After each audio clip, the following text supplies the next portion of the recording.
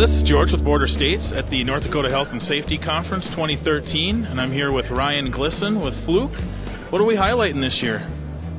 Oh, thanks, George. Uh, two of our really new products, brand new, hot off the presses. Um, we have a new wireless DMM system, which really is going to allow our customers to be able to get away, uh, safe distance away from the measurements that they're making.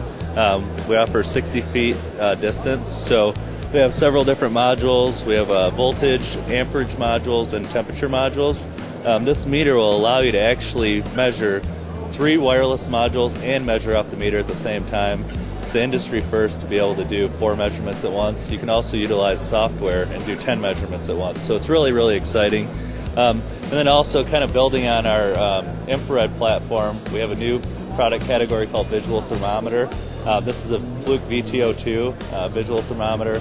Essentially, it's a low resolution uh, infrared image camera, um, kind of blending the difference between infrared and spot uh, temperature. So, um, really, really exciting. Finally, uh, we have a tool that a guy can use to visually understand what he's looking at uh, from a temperature standpoint on panels for under $900.